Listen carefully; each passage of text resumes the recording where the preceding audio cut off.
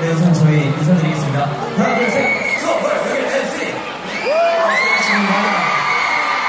우선 이렇게 좋은 상 주셔서 너무 감사드리고, 이렇게 신인상을 정말 인생에서 처음으로, 처음이자 마지막으로 받는 기회인데, 정말 이렇게 큰 상을 저에게 주셔서 너무나도 감사드리고요.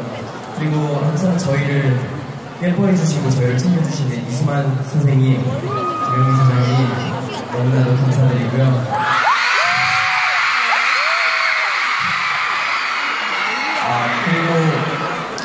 항상 정말 뒤에서 저희 때문에 이렇게 잠도 못 주무시고 좀 이렇게 많은 일들을 처리해주시는 매니저 형들 그리고 스태프분들 정말 감사드리고 저희 아홉 명의 부모님들 너무나도 감사드리고요. 그리고 정말 소중한 사랑하는 우리 팬 여러분들 정말 정말 감사합니다. 감사한 마음 잊지 않고 정말 열심히 하도록 하겠습니다. 그리고 어, 저희 멤버 아홉 명이 정말 감사해야 할 분을 한분 얘기하고 싶은데요. 병준이 형 사랑합니다.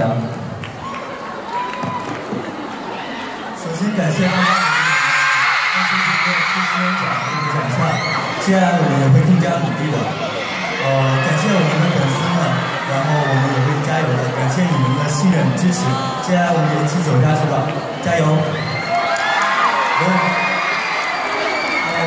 마찬가지로 거의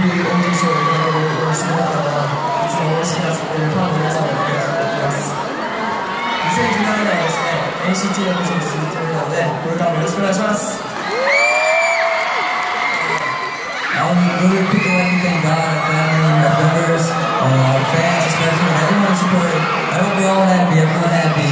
마지막으로 우리 선배님들 너무 감사드립니다. 사랑합니다.